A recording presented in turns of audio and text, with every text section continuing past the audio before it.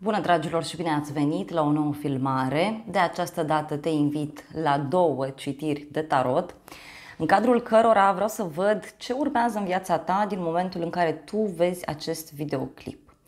Să vedem. Deci pentru următoarele maxim două zile, din momentul în care tu vezi filmarea. Și avem numărul 1, piatra galbenă, numărul 2, piatra mov. O să te rog să alegi intuitiv, poți să alegi un număr pentru dragoste, un număr pentru carieră, un număr pentru tine, un număr pentru altă persoană, fix cum simți, fix așa procedezi. Și acestea fiind spuse, hai să începem. Începem cu cei de la numărul 1, să vedem pentru voi ce mesaje avem în acest moment. Da. Și apoi vedem ce urmează să se întâmple în următoarele două zile, maxim, din momentul în care vezi citirea. Primul mesaj pentru tine a ieșit, da? Um, văd aici o perioadă în care te îndrepți către ceva mare, ești pe drumul tău. Poate ai de făcut un drum sau aștepți pe cineva să-ți vină în vizită. Da? Poate este cineva din familie, de la drum, care vrea să-ți ofere o veste. Pe de altă parte, văd pe cineva care te invită da, să mergeți undeva mai văd uh, faptul că familia este foarte importantă pentru tine în acest moment. În relația de cuplu pot fi discuții legate de o eventuală familie, pot fi discuții legate de o mutare împreună. Văd aici un angajament, da? un angajament. Cineva face un drum către tine, către sufletul tău.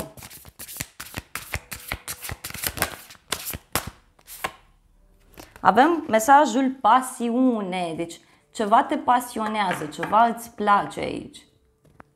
Te simți bine în casa ta, în familia ta, în cercul tău de prieteni. Sunt niște mesaje foarte frumoase pentru tine, da? Și se spune să manifesti fericirea, să manifesti bucuria, libertatea. Te simți atras de cineva sau de ceva anume. Să vedem ce spune tarotul, ce urmează pentru tine în următoarele două zile, din momentul în care vezi citirea. Hai să vedem. Primele mesaje spun clar despre faptul că ai aici un grup de oameni care are un rol foarte important pentru tine. Hai să vedem, dragii mei, ce trebuie să știți. Ce spune tarotul pentru tine avem arcana majoră, nebunul, atenție, se pare că ești într-o perioadă de mare sinceritate față de tine, față de ceilalți. Te văd autentic, te văd bucuros și văd faptul că te îndrepți spre un loc nou sau este o perioadă în care lucrurile da, merg într-o direcție diferită. Este un mesaj comun aici, anume un drum pe care tu mergi. Tu nu știi exact unde te duce, nu știi exact ce se întâmplă acolo, însă, însă, văd foarte clar că ai foarte mult curaj. Uh, este și o perioadă în care totul pur și simplu a luat o razna în viața ta, poate nu mai înțelegi nimic din ceea ce ți se întâmplă, poate lucrurile par destul de obositoare, da? Pentru că nebunul vine cu surprize, nebunul vine cu lucruri ciudate pentru tine.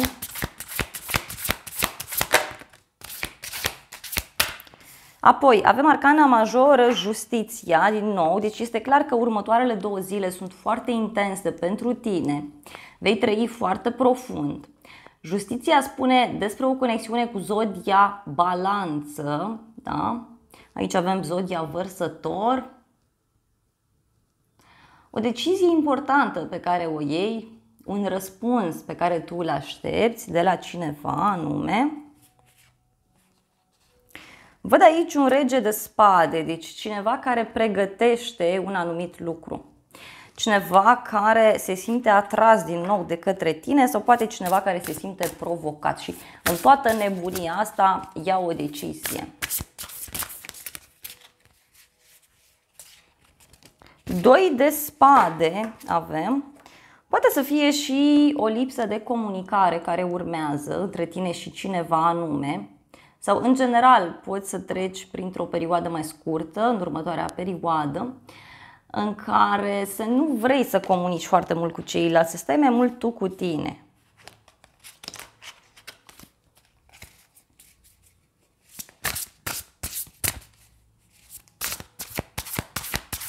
Vedem următorul mesaj, dar se accentuează această idee de justiție, această idee de dreptate, de clarificare a unei situații. Și apoi avem uh, asul de monede și arcana majoră îndrăgostiții.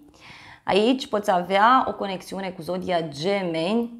Văd o nouă cale, un nou loc, o dovadă palpabilă pe care cineva ți-o oferă într-o relație. Iar dacă ești o persoană singură, văd aici că sunt șanse să cunoști pe cineva. Însă fie această persoană vine în urma unei schimbări care apare la muncă, fie această persoană poate să fie printre colegii tăi de la muncă.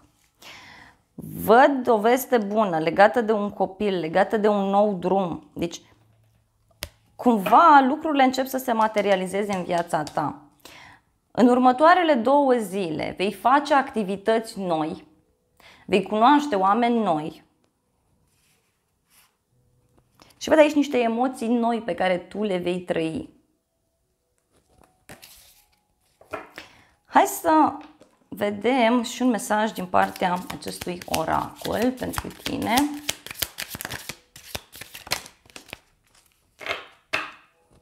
Noroc, deci a ieșit noroc, numărul 33.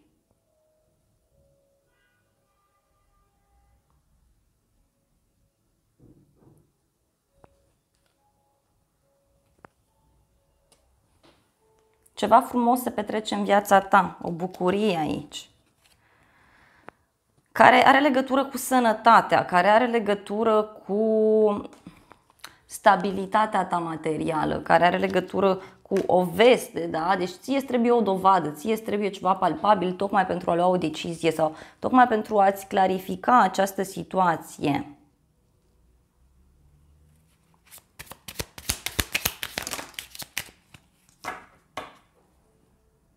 Văd onoare, recunoaștere, deci poate aștepți un răspuns din punct de vedere profesional, răspunsul vine, este pozitiv.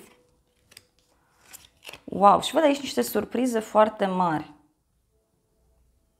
Un succes în afaceri, în dragoste. Mai văd fidelitate, bucurie, deci e ca și cum totul se deblochează aici pe mai multe planuri. Însă, la un moment dat, o să simți și această lipsă de comunicare. E ca și cum rămâi fără cuvinte, nu știi ce să mai spui. Deci tu aici e clar că vei avea parte de un noroc foarte, foarte mare, foarte curând. Doar că, așa cum spuneam, universul se pare că în cazul tău lucrează într-un mod foarte ciudat, lucrează într-un mod foarte diferit. Să vedem, bineînțeles, și surpriza pentru tine în următoarele două zile. Care este surpriza pentru cei de la numărul 1? Wow! Surpriza are legătură cu o dragoste adevărată, cu o conexiune sinceră și vede aici o relație serioasă, o căsătorie, un parteneriat. Ceva frumos se petrece. Și are legătură cu o nouă iubire, o nouă persoană. Poate tu devii o nouă persoană în urma acestor experiențe. Nu știu de ce simt să transmit asta pentru cineva. Sau o nouă etapă într-o relație partenerul se poate schimba foarte mult. Pentru că eu văd aici că este vorba despre cineva care seamănă foarte bine cu tine sau poate să fie vorba despre o relație karmică în unele cazuri. Da? Uh, repet, în multe cazuri văd aici o veste bună legată de muncă sau legată de ceva la care tu lucrezi. Poate lucrezi cu tine ca să atragi o persoană bună sau ca să se schimbe partenerul. Da? Îi ofer exemplu, te schimbi tu mai întâi ca să vadă în fața lui un exemplu.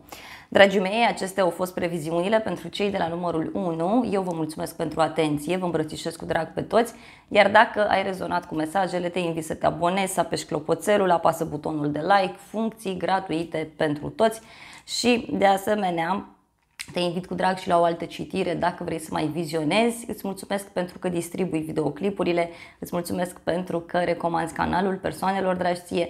Iar dacă ești interesat de previziuni pe zodii, în fiecare zi, în fiecare săptămână, te aștept cu drag pe celălalt canal de YouTube. Ai link în primul comentariu. Te îmbrățișez cu drag și îți doresc să ai parte de următoarele două zile da, cât mai frumoase, de o perioadă cât mai frumoasă în viața ta. Bun, să continuăm cu cei de la numărul 2. Foarte frumos. Cei de la numărul 1.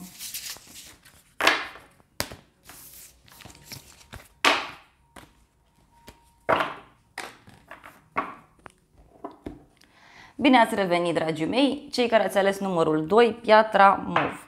Hai să vedem pentru voi ce mesaje are oracolul pentru următoarele două zile. Hai să vedem mesaje pentru cei de la numărul 2. Perioadă bună, wow, prosperitate, a ieșit primul mesaj pentru tine, da?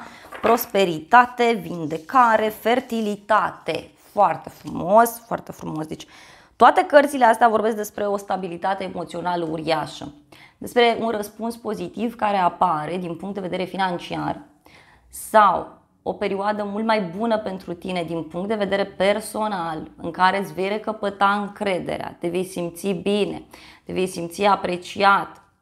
Dacă aștepți un răspuns din punct de vedere medical, acesta este pozitiv. Ești într-o perioadă de creștere, de abundență.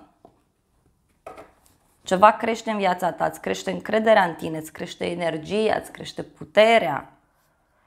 Văd iertare și compasiune, deci ți se cere să dai dovadă de compasiune față de cineva, tocmai pentru a găsi această pace interioară, tocmai pentru a te menține, simt eu aici, în această energie extrem de puternică. Și mai avem un mesaj pentru cineva, și anume uh, o protecție foarte mare pe care tu o ai sau pe care o vei avea într-o situație anume. Bun, hai să vedem tarotul ce zice pentru tine în următoarele două zile din momentul în care vezi citirea.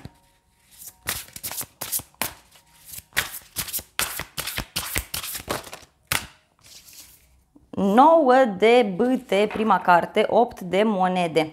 10 de spade, da, deci regina de spade este o perioadă așa în care ești foarte dur cu tine sau o perioadă în care vrei să lași emoțiile deoparte și vrei să acționezi ca atare.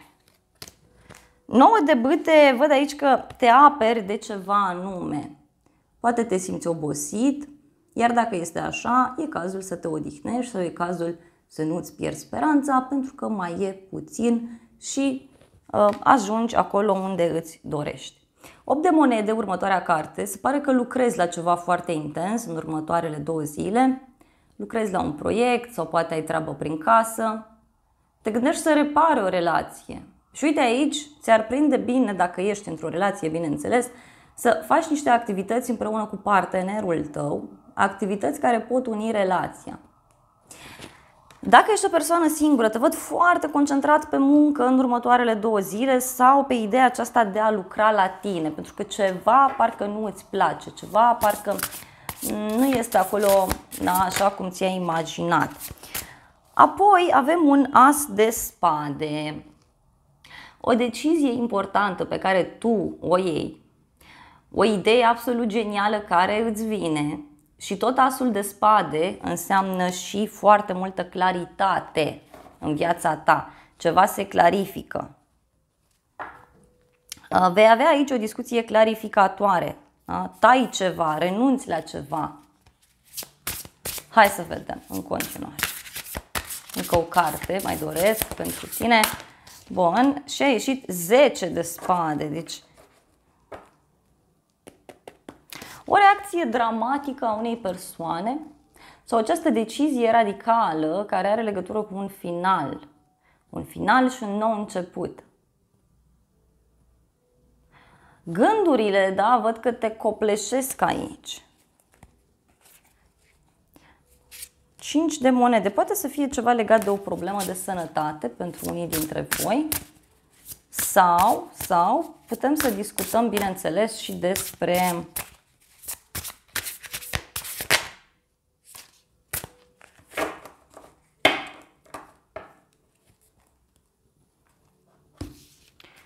situație aici da, în care cineva se concentrează doar pe partea negativă a lucrurilor. Cineva se uită doar spre trecut, mai văd aici.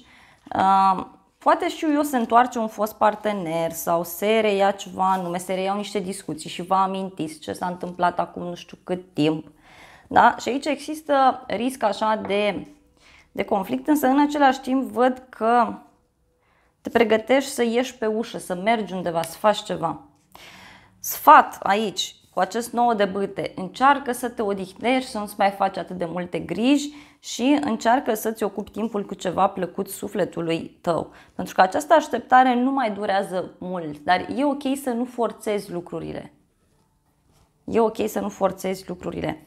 Avem magicianul și arcana majoră a transformărilor. Deci tu aici faci un drum în urma căruia vei face o transformare la tine, în viața ta. Ceva se închide, ceva se transformă. Cineva pregătește un final. Hai să vedem puțin uh, și acest oracol ce spune. Au ieșit deja două mesaje. Da?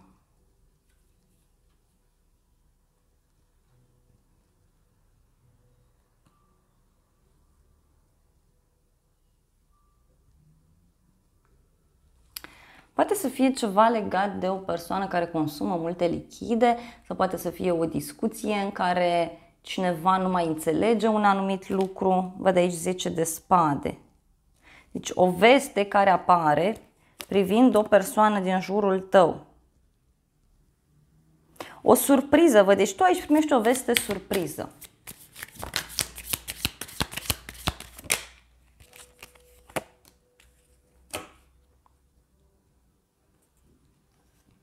Uite, are legătură cu o schimbare, cu un copil, cu o persoană care este la distanță de tine sau cineva care se află într-o altă țară, într-un alt oraș. Ai aici o persoană pe care tu te poți baza, poate să fie, atenție, o persoană dintr-o zodie de pământ, un taur, fecioară, capricorn.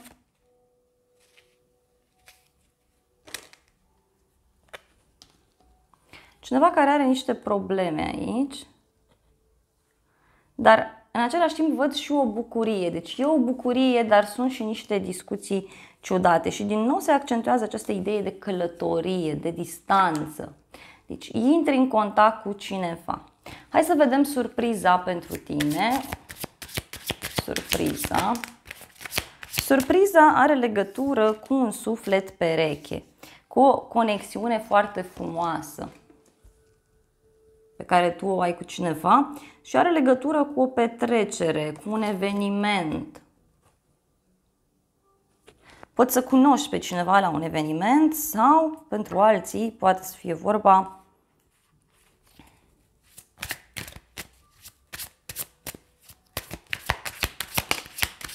despre, uite, ceva legat de o călătorie văd aici. Deci te întâlnești cu cineva să ai niște discuții și avem o întâlnire, da, poate cu o persoană brunetă, cu ochii deschiși la culoare, poate să fie, știu eu, și o persoană mai tânără sau o persoană care are un aspect fizic mai tânăr sau este mai copilăroasă din fire. Văd o persoană energică, plină de viață și văd o discuție. Da? Dar văd aici regina de gheață, deci o persoană uh, singură, divorțată sau o persoană care a fost foarte rănită în viața sa și văd multă chimie. Deci asta e surpriza pentru tine. Sau o bucurie foarte mare pe care o ai. E ceva legat de un drum. Din nou apare această energie de drum pentru tine. Poate este vorba despre o persoană străină, da? despre o discuție legată și de o sumă de bani, o discuție legată de străinătate, de noroc. Dragii mei, acestea au fost previziunile pentru cei de la numărul 2. Eu vă mulțumesc pentru atenție, vă îmbrățișez cu drag pe toți, iar dacă ați rezonat cu mesajele, vă invit să vă abonați, să apăsați clopoțelul, apăsați butonul de like, lăsați un comentariu, funcții gratuite pentru toți și astfel îmi puteți mulțumi. De asemenea, vă invit cu drag și la o altă citire, dacă sunteți interesați, iar cei care doriți citiri pe zodii zilnice, pentru fiecare săptămână, pentru fiecare lună. Vă invit cu drag și pe celălalt canal de YouTube. Da? Aveți link în primul comentariu, vă îmbrățișez cu drag pe toți și vă doresc să aveți parte de uh, o perioadă cât mai frumoasă.